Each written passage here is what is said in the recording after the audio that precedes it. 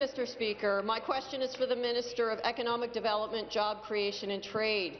From coast to coast, elected officials of all political stripes have been very vocal in calling on our federal government to stop the planned carbon tax hike on April 1st. Even the Liberal Premier of Newfoundland Labrador has come out against the 23 per cent carbon tax hike.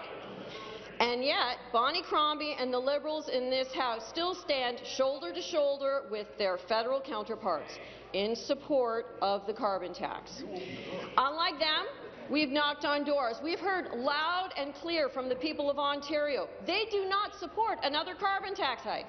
Speaker, can the minister please share what he's been hearing from businesses and workers when it comes to the Liberals' planned carbon tax hike? The Minister of Economic Development, Job Creation and Trade. Thank you, Speaker. Speaker, we have lowered the cost of doing business in Ontario by $8 billion annually. We've reduced taxes, we've cut red tape, we've shown the Liberals the way. This is how you bring business to Ontario. You know, Speaker, we have an incredibly diverse economy here. No one industry accounts for more than 15 percent.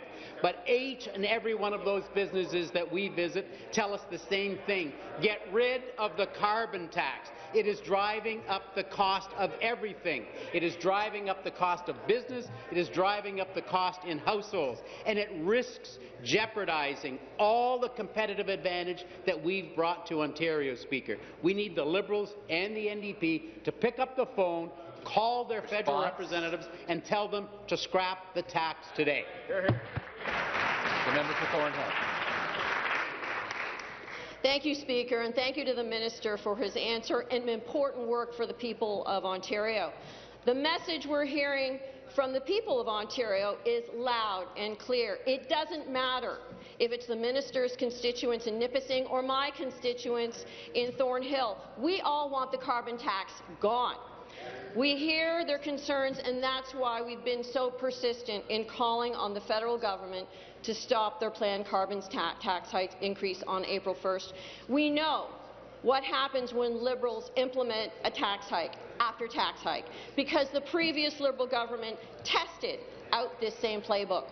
Speaker, can the minister please remind us of how the previous Liberal government's agenda of a high tax paid out? Minister of Economic Development, Job Creation and Trade. Speaker, the people of Ontario remember very well what life was like under the Liberals. Their high taxes crushed businesses, they penalized workers, they sent 300,000 manufacturing jobs fleeing from the province of Ontario.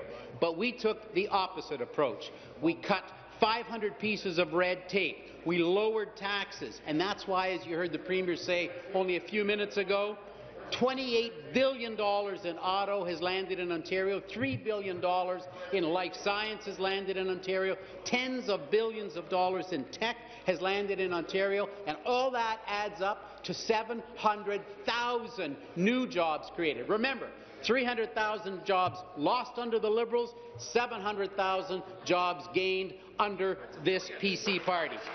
We showed the Liberals the way. Low taxes are how you create jobs. Stop the tax now. The next question, the member for Mushkegowuk, James